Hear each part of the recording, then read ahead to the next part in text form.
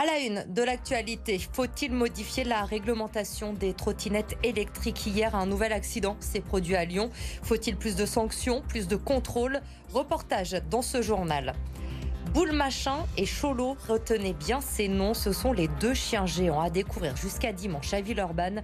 Le spectacle créé par la compagnie de rue Royale de Luxe a déjà attiré des milliers de curieux aujourd'hui. Un week-end de sport, le loup déjà sous pression, de défaites en trois journées pour les hommes de Xavier Garbajosa. Ils reçoivent le Stade français demain à Gerland.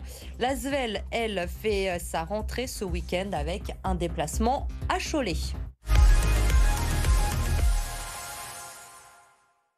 L'utilisation des trottinettes électriques doit-elle être encore plus encadrée? Depuis quelques jours, les trottinettes en libre service sont interdites à Lyon aux moins de 18 ans, mais faut-il aller plus loin pour les propriétaires de trottinettes? Face aux accidents de plus en plus nombreux en ville, la question se pose et fait débat. Stéphanie De Silgui avec Vincent Chevalier. C'est un des moyens de déplacement préférés des Lyonnais. Impossible de passer à côté. Sur la route ou les trottoirs, les trottinettes se faufilent partout. Il y en a de plus en plus. La majorité vont vite. Après, il y en a qui savent aussi très bien les utiliser pour ceux qui doivent se rendre au boulot, etc. Mais c'est mitigé. À partir de 18-22 ans, ils sont assez euh, inconscients. Si les modèles électriques en libre service sont interdits aux mineurs, les trottinettes personnelles sont accessibles dès l'âge de 12 ans. Une législation jugée problématique par ce gérant d'un magasin spécialisé. Une trottinette qui ressemble beaucoup aux trottinettes classiques non motorisées, avec une vitesse euh, qui n'est même pas bridée, qui est par constructeur 25 km/h. La loi française dit que cette grosse trottinette, par exemple, qui est ici, qui peut, si la personne la débride, aller jusqu'à 90 km/h. Et la, réglementation française dit que c'est exactement le même produit. Une association de victimes d'accidents de trottinettes préconise, elle, de calquer la réglementation sur celle des scooters. À partir de 16 ans, on considère qu'on est apte à conduire un véhicule à moteur. Ça devrait être inclus au BSR. Il faut absolument une formation. C'est une question de sécurité pour préserver nos jeunes. Chaque année, il y aurait environ 1200 accidents de trottinettes à Lyon. C'est 11 fois plus que les statistiques de la sécurité routière. La politique, Grégory Doucet accepte finalement le million d'euros proposé par la région pour euh, renforcer la sécurité de la ville. Le maire de Lyon a envoyé un courrier au président de la région. C'était début septembre. Nous avons pu lire euh, ce courrier, mais à la surprise de Laurent Vauquier, il n'est pas question de caméras de vidéosurveillance. Grégory Doucet explique accepter volontiers ce million d'euros, mais pour financer des barrières anti-véhicules béliers, des talkie-walkie, des chasubles ou encore des toilettes inclusive, demande qui a surpris la région, qui nous a bien précisé aujourd'hui qu'elle ne financerait que des actions concrètes de nature à enrayer la délinquance. Elle déplore que la ville de Lyon ne comprenne pas la gravité de la situation en matière de sécurité. Aujourd'hui, c'est un petit peu une insulte vis-à-vis -vis de toutes les victimes de la violence euh, à Lyon. Euh, la région propose au maire de Lyon un million d'euros pour installer des caméras et l'aider dans les dispositifs de sécurité. Et ce dernier euh, nous répond en nous proposant euh, d'acheter des urinoirs inclusifs, des chasubles, de médiateurs. Je pense que c'est absolument pas à la hauteur du problème. Et on le voit bien, l'ensemble des acteurs aujourd'hui, que ce soit l'État, la région ou même d'autres collectivités, se rendent compte qu'il y a un problème avec le maire de Lyon. La métro positive pour s'opposer à l'écologie punitive. La droite fait sa rentrée aujourd'hui avant le Conseil métropolitain lundi prochain. 32 élus qui veulent agir en faveur des mobilités, du pouvoir d'achat ou encore de la sécurité. Clémence Delarbre. Le tout vélo, la droite n'en veut pas. Selon elle, depuis l'arrivée des écologistes à la tête de la métropole, la circulation en ville n'a jamais été aussi mauvaise. Mais c'est surtout le manque de concertation avec les élus qui pose souci, comme à Oulin, où le tracé de la future voie lyonnaise suscite l'indignation. Le vice-président en charge des mobilités veut absolument passer euh, en force et sans tenir compte des différents aspects du territoire. C'est pas acceptable. On n'a jamais travaillé comme ça. Euh, et moi, je n'admets pas qu'on ne puisse pas tenir compte de la vie des maires sur, euh, sur des sujets aussi importants que, que cela. Autre sujet de discorde, la ZFE. Son extension géographique doit être votée ce lundi en Conseil métropolitain. Un coup d'accélérateur assumé par les écologistes, mais qui est aberrant pour l'opposition.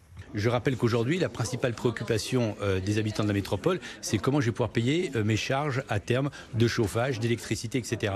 Vous mettez aujourd'hui 10 véhicules qui circulent au sein de la métropole de Lyon. Eh bien, euh, demain et après-demain, il y en aura 7 qu'il va falloir mettre à la casse. Mais est-ce qu'ils mesurent ce que ça représente? Mais c'est de la folie.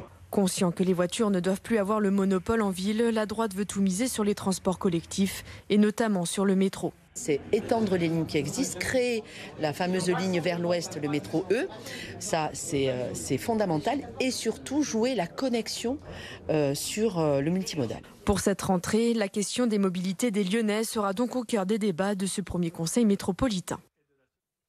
Le siège lyonnais de Total bloqué ce matin par les militants de Youth for Climate. Ils sont restés pendant une heure hein, devant le bâtiment sans pour autant empêcher euh, son fonctionnement. Un message affiché, vous êtes les troupes de la machine de guerre climatique, démissionné. Euh, rassemblement contre les multinationales hein, qui utilisent les euh, énergies fossiles. En début d'après-midi, place des terreaux, c'est un autre rassemblement qui a eu lieu après des mois d'absence. Un appel a été lancé ce vendredi pour une une grève mondiale pour le climat. Sur place pour BFM Lyon, Amélie Duchamp.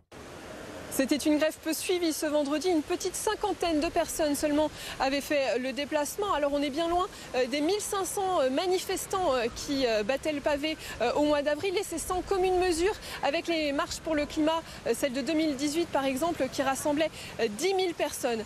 Mais pour les organisateurs, il s'agissait d'un premier rendez-vous de la rentrée pour se remobiliser, un tour de chauffe en quelque sorte. Je vous propose d'écouter Léo Seroski, c'est l'un des organisateurs de cette grève pour le climat. C'est un début de remobilisation. Justement, le but, c'est que euh, on remobilise pour qu'il y ait d'autres rassemblements, d'autres marches et qu'on retrouve euh, le même euh, taux de participation qu'on a eu lors des grandes marches climat à Lyon de ces dernières années, avant et même aussi un peu après Covid. L'été est passé, je pense que c'est bien aussi de remettre en contexte avec l'été qu'on a vécu, avec en même temps les sécheresses, les incendies et les inondations au Pakistan et les milliers de personnes qui sont mortes, les millions de personnes qui ont été déplacées. Euh, ça, c'est pas rien. Et on se rend compte qu'à la rentrée, si on se mobilisait pas, bah, euh, les gouvernants ils continueraient comme tous les jours, comme si rien ne s'était passé. justement, il s'est passé quelque chose à nouveau, ça a empiré. Et c'est peut-être l'été le plus frais des étés qu'on va avoir. Et pourtant, il était bien, bien chaud cet été. Les militants présents demandent des actions concrètes de la part du gouvernement, qu'il y ait un vrai virage écologique, de vraies euh, décisions en faveur de l'environnement euh, qui soient prises et qui soient prises très rapidement. Il euh, martèle que le dernier rapport du GIEC laisse trois ans à nos sociétés pour baisser significativement nos émissions de CO2, sans quoi la vie sur la Terre risque de devenir très, très, très compliquée. C'est l'événement culturel hein, du week-end à Villeurbanne. La compagnie royale de luxe présente son nouveau spectacle Deux chiens géants, Cholo et Boule Machin, qui ont commencé leur déambulation aujourd'hui. Ils doivent se retrouver dimanche pour une course qui devrait attirer des milliers de curieux. Jacques Terlinck. Encore endormi, les ronflements des chiens géants résonnent dans Villeurbanne tandis que Daniel attend leur réveil avec impatience. Ah bah pour le moment, j'entends surtout les ronflements du chien qui dort et qui fait un bruit terrible. Il faut le mettre sous assistance respiratoire. Cholo, le chien mexicain, se réveille gracieusement dans un décor enneigé, ce qui surprend Arish venu avec sa classe. Au début, il dormait et euh, bah maintenant, il buvait de l'eau et euh, là, bah, il marche comme un vrai chien. Je suis contente. J'ai eu une grande émotion quand je l'ai vu. De l'autre côté, Boule Machin, le chien villeurbanais, se réveille pour la première fois et s'élance. c'est parti. Nous foulons nos premiers pas dans la ville de avec notre Boule Machin. Laissant quelques traces de bave au passage, sous les yeux des habitants qui l'ont déjà adopté. Le bulldog, euh, ouais, j'ai préféré parce que bah, c'est, euh, il est villeurbanais et moi je suis villeurbanais aussi, donc euh, il me représente aussi. Ah, c'est vrai que celui-ci il est quand même un peu plus beau, on va dire, hein, qui vient de Villeurbanne, donc il est plus beau. Il est plus, je pense qu'il est aussi plus jeune, donc euh, c'est sûr qu'il y a des nouvelles technologies qui ont été mises euh, sur le chien. Il a même réussi à séduire le maire de la ville aux côtés de la ministre de la Culture, Rima Abdul Malak, venue pour l'occasion. Il a un côté euh, massif, rustique. On ne sait pas s'il est gentil, s'il est méchant.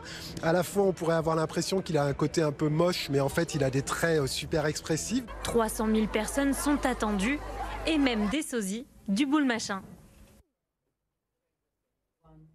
Le Loup est déjà sous pression. Quatrième journée du top 14 ce week-end. Les Lyonnais euh, reçoivent le stade français demain après-midi à Gerland et après une victoire à Brive, il reste sur deux défaites de rang. Pas de quoi mettre sous pression le nouveau manager Xavier Garbajosa. Écoutez-le au micro d'Edouard G si moi je commence à paniquer, euh, je pense qu'eux ils vont commencer à paniquer. Et jouer au rugby avec euh, une épée de Damoclès sous la pression, euh, c'est jouer petit bras, c'est ne pas aller au bout de, ses actions, c'est ne pas donner du sens à ce qu'on fait. Et je crois que ce championnat-là, euh, euh, c'est difficile. J'ai connu des équipes qui ont perdu les cinq premiers matchs et qui ont été champions à la fin. Ce championnat-là, finalement, on ne peut pas jamais se reposer et de la même façon qu'il ne faut pas paniquer. On fait trop de fautes dans notre camp, on donne le bâton pour se faire abattre et qu'on n'est pas pragmatique sur les situations chaudes.